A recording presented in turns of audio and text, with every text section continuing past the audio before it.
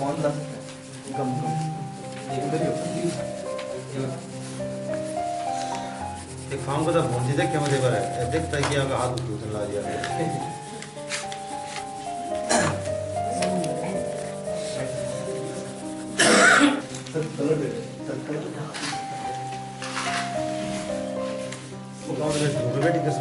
अच्छा दिखेगा वाइट बेहतर आएगा दांडी लड़का वाला ने भागना टप्पू बेटी दांडी टप्पू बेटी भागना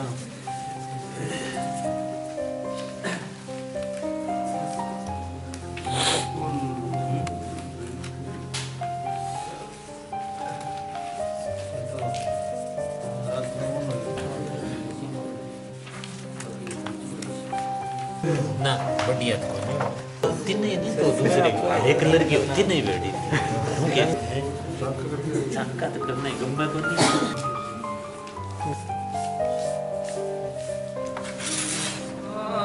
सारे जहाँ से हम बुलबुले हैं इसकी ये गुलसिता है मारा हमारा सारे जहाँ से अच्छा।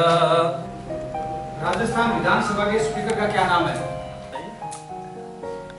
विशाल मेघवाल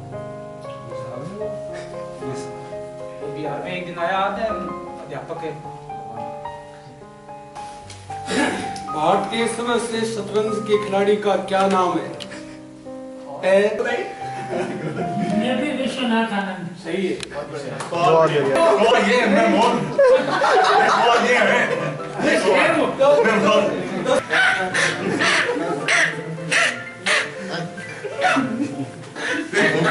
सबके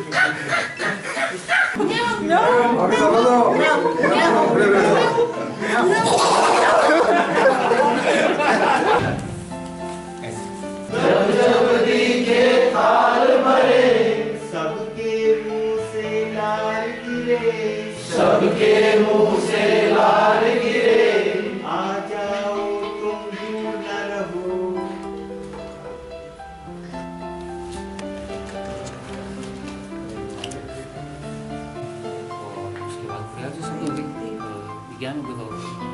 विज्ञान करिए हो गया उसके परिवेशी सदन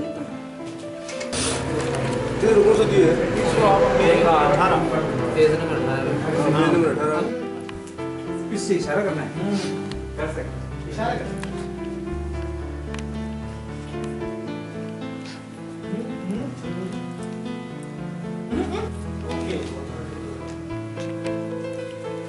बासठ तिरसठ अड़सठ। इकहत्तर। अस्सी एटी सिक्स और नाइन्टी फाइव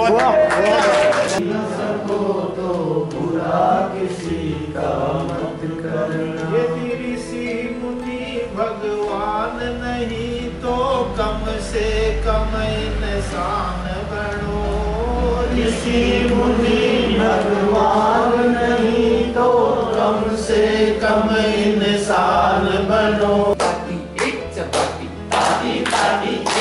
ताती ताती एक चपाती ताती ताती एक चपाती बैठ तवे पर पेट फुलाती बैठ तवे पर पेट फुलाती। मत काट बावड़ा पेट बिना जग सुनो जग सुनो तो तू कित जागो, आ बात सारा ही गुनो धरती सुनी जंगल सुना, पेड़ बिना जग सारो सुनो। धरती रो श्रृंगार बावड़ा तू सारा जागो। घर घर में हरियाली लाओ, खेत खड़ा रो बागो खेत रेत में मिल जासी बिरखारो होसी तोड़ो और मेड़ मेड़ पर पेड़ लगाओ अब तो मनड़ो मोड़ो, राज काजरो मुंडो छोड़ो पेड़ काटनो छोड़ो। अब एक बालक है, देखो थोड़ा कुचलनी कर रहा है। तो वो कुचलनी भी लिखी है बात सुन लो तो सावधान, अग्रसेन नगर में गाजर के हलवे की प्लेट में धमाका हो गया।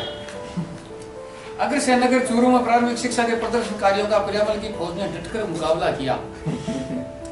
पिरामल की फौज ने अच्छे खाने की प्लेटों की बौछार की जिससे कुछ प्रदर्शनकारी घायल हो गए और खाना खाकर तितर बितर हो गए। कुछ प्रदर्शनकारियों को स्टेशन से लेकर गोयनका स्कूल तक दौड़ते देखा गया। अचानक नगरी में एक मधुमस्त हाथी घुसाया उसे बिस्कुट और चाय देकर राज़ी किया गया। हाथी ने सूंड उठाई और स्टेशन की तरफ़ चल दिया।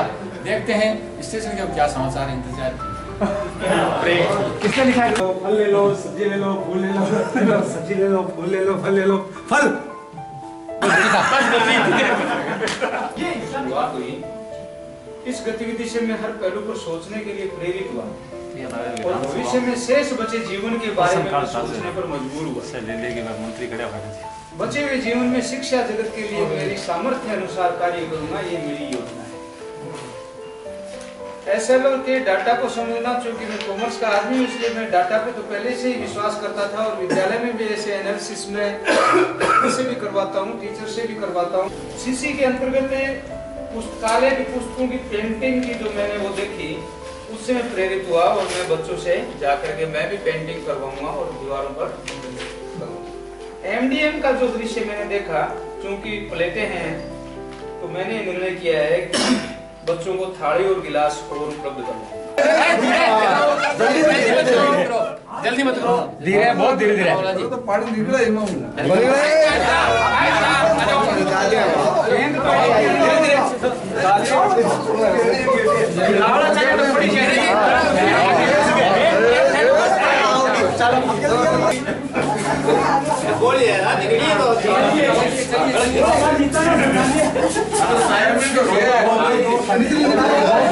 कि एक लीडर कौन है? यहाँ पे लिखी हुई है। भविष्य के लिए प्रेरक और दूरदर्शी विचार रखने वाला।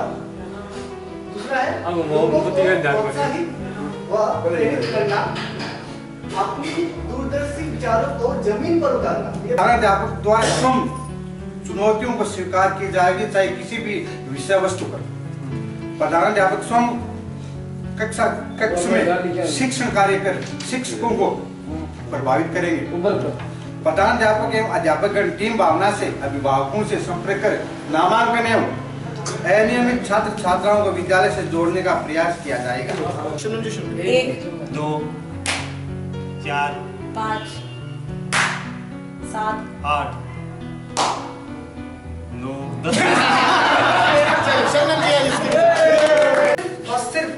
एक्सप्रेशन पे चर्चा की, क्योंकि ऐसा एक महसूस किया जा रहा था कि बच्चों में झिझक होगी।